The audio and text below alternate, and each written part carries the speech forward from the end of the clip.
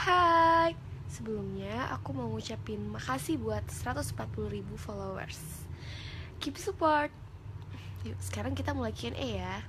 Jangan lupa hashtagnya. Suka hangout pakai dress apa outfit santai? Hmm, tergantung tempat sih, tapi aku lebih suka outfit santai. Natsa, kamu tipe pendengar yang baik bukan sih? Hmm, insya Allah baik ya. Curhat aja sama aku. Kabar Kak Dins baik?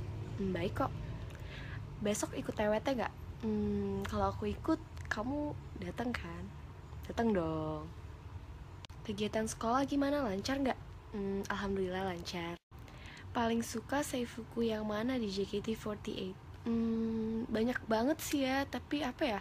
Mungkin yang belum kesampaian Tenshino Shippo, aku suka banget. Lucu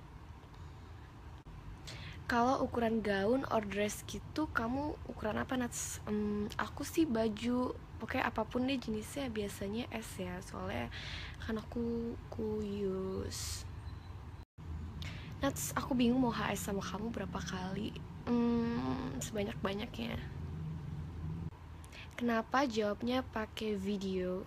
Um, karena biar nggak kalah sama member-member lainnya pas ultah mau di give apa hmm, kalau jawab ini pasti dibilang kode atau banyak mau kali ya.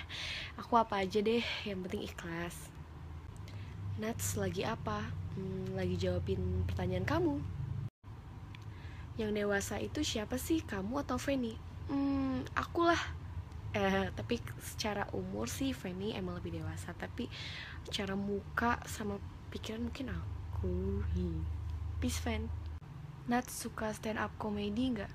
Um, aku suka kalau Cides yang stand up comedy kali ya.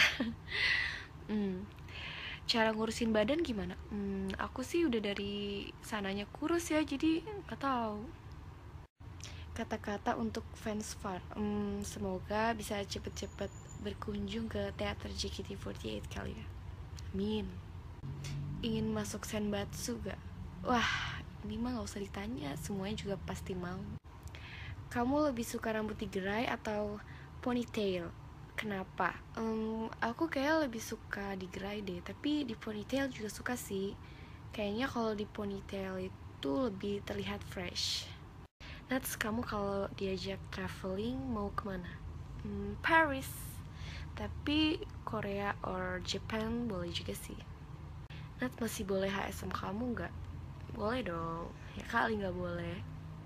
Nat suka hujan gak? Suka kenapa? Gak suka kenapa? Hmm, sukanya itu mungkin udaranya kali ya Sejuk-sejuk enak um, Kalau gak sukanya mungkin karena hujan tuh ribet Jadi gak enak kalau pergi-pergi gitu Nats, arti dari nama kamu itu apa? Hmm, setelah aku tanya sama orang tua aku Jadi Nadifa Salsabila itu diambil dari bahasa Arab Nadifa itu artinya bersih diambil dari kata nazifa dan salsabila itu artinya air mata surga. Jadi Nadifa salsabila artinya air mata surga yang bersih. Which one do you like, romantic boy or humorous boy? Mm, I think I like romantic boy, but I don't know why. Maybe because love doesn't need a reason. Do you believe in karma? Mm, yes, because what goes around will comes back around. Nat, kalau misalkan aku jarang teater, kamu lupa nggak? Um, lupa sih nggak ya, tapi mungkin aku bakal lebih inget kalau kamu sering teater. Nat, cara nanggepin haters gimana? Hmm, senyumin aja lebih suka cowok pakai poni atau cowok kekinian? Hmm, cowok kekinian tuh gimana ya? Hmm, mungkin aku lebih suka cowok yang poninya diangkat ke atas. Apa yang bikin kamu tetap semangat di JKT48 hmm, mungkin aku suka flashback ke awal-awal gimana aku masuk JKT48 dan aku juga masih ingin meraih cita-cita aku di sini.